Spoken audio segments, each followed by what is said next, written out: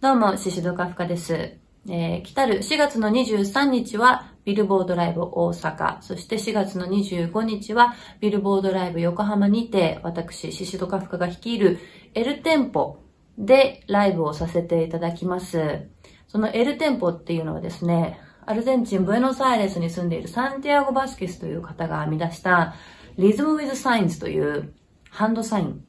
もう手話みたいなサインなんですけど、それを100種類以上あるものを駆使して、その場で、えー、リズムをクリエーションして、唯一無二の音楽を作り上げるという音楽を L テンポではやっております。そのライブをビルボードライブさんでやらせていただきます。本当にその場で作り出して、その場で反応した音をクリエーションしていくので、すごいスリリングな楽しい時間となっております。まだね、知らない方が多いんじゃないかなというふうに思うので、ぜひ皆さんに一度でも目にしていただいて、そのリズムを体で感じて楽しんでいただけたらと思っております。メンバー一同意気込んでおりますので、ぜひぜひ遊びにいらしてください。よろしくお願いします。